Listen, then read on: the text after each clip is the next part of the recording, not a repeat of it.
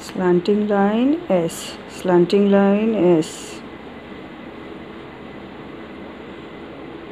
If you practice this pattern for at least 5 to 10 minutes and if you are stressed out or any tensions you will feel that you de-stress yourself to a quite an extent and with regular practice of this you will start uh, having a fluidity of thought.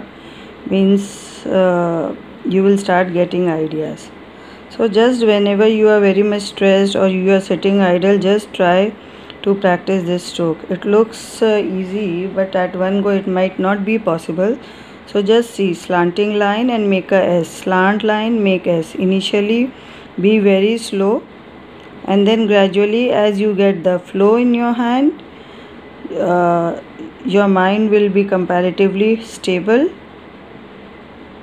so this is one of the very easiest way of de-stressing yourself.